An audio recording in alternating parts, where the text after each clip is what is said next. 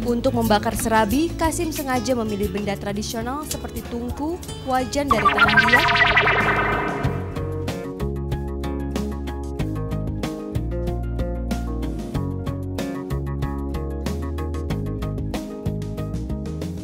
Jalan-jalan ke daerah Karawang, jangan lupa mampir ke Rengas Dengklok. Di sini terdapat satu cemilan bernama serabi hijau karena memang berwarna hijau. Namun serabi ini lebih tenar dengan sebutan serabi kuntilanak. Adalah M. Kasim yang memiliki gagasan memulai usaha ini. Sejak tahun 1995, ia mulai merambah usaha sebagai serabi hijau. Untuk pembuatan bahan dasar serabi, Kasim tidak bersedia memperlihatkannya. Ini dikarenakan menjaga kerahasiaan mutu dan tidak ditiru orang. Ini makanan udah sampai ke orang atas gitu ya, termasuknya orang terhormat gitu. Saya takut gitu orang lain. Namanya orang lain kalau kerja kecapean nantinya. Nah, takut nggak bener. Banyak yang terjadi buka cabang di mana-mana gitu seperti bakso. Akhirnya, nah, buka cabang itu bukannya lebih bagus. Malah suka gitu karena suka ada ditiru itu baksonya ditiru seperti sorabi bisa nanti kalau udah tahu kan bisa ditiru lagi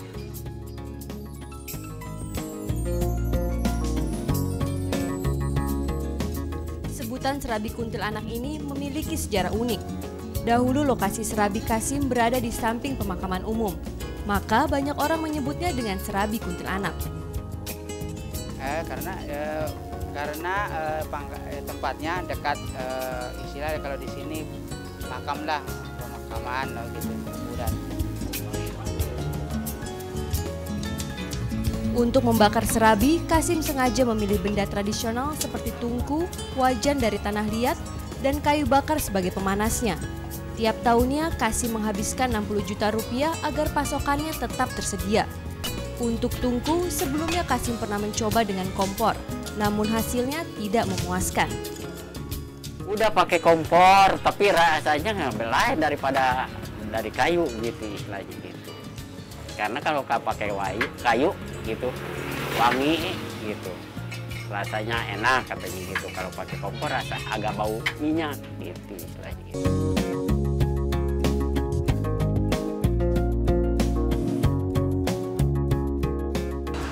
Dalam waktu 4-5 menit, serabi ini bisa dihidangkan.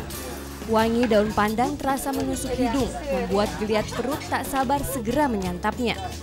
Satu tangkup atau dua buah serabi dapat dibeli seharga Rp1.500. Untuk kuahnya tersedia dua rasa, rasa manis dan durian.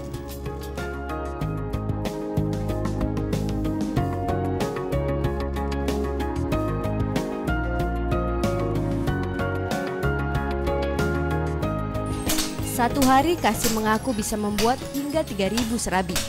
Namun ia enggan menyebutkan berapa pundi-pundi uang yang diperolehnya dari serabi kuntilanak ini.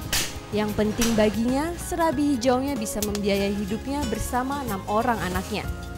Ketenaran serabinya ini konon sudah menghinggapi banyak kalangan, dari kalangan bawah hingga pejabat tinggi. ya seperti ya bupati ya pernah gitu istilahnya yang udah seperti kapten ya kapten Pak Didik udah gitu istilahnya gitu. Sampai kalau bilang ada presiden gitu kan? Ya itu ada pesen gitu, pesen katanya Sorabi katanya bakal Megawati katanya gitu. Ya tapi nggak tahu bapak mah gitu. Katanya cuma begitu doang, pesennya seribu. Hmm, aroma serabi yang khas ini memang mengundang selera. Apalagi di saat musim hujan, mungkin bisa menjadi pilihan Anda sebagai teman di sore hari.